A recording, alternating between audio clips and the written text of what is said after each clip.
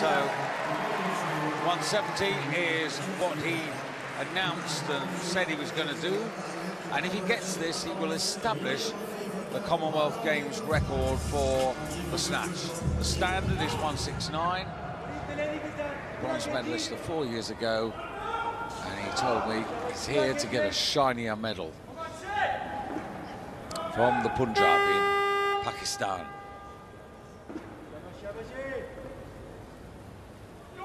Take note.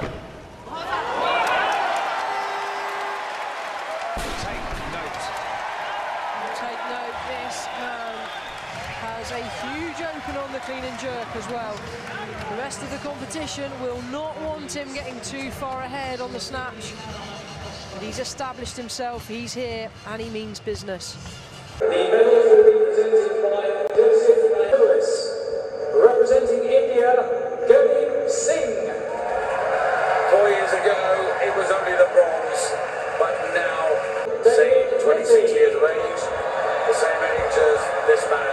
David who just had to accept today that silver was where he was destined to finish.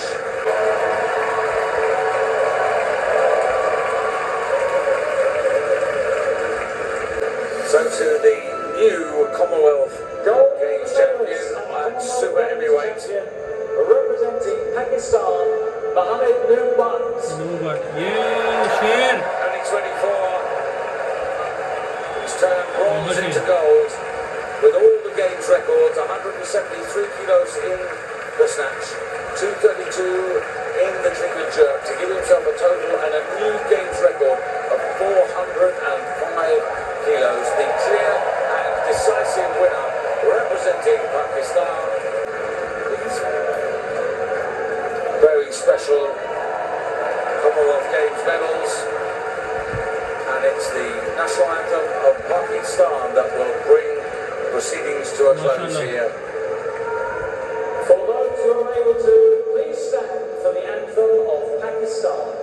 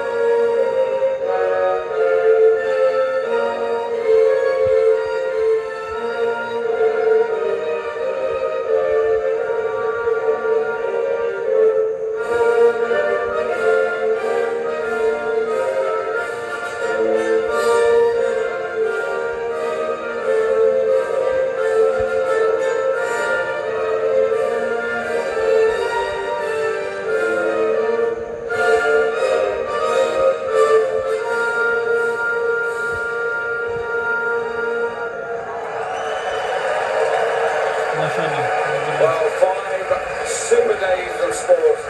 Well, five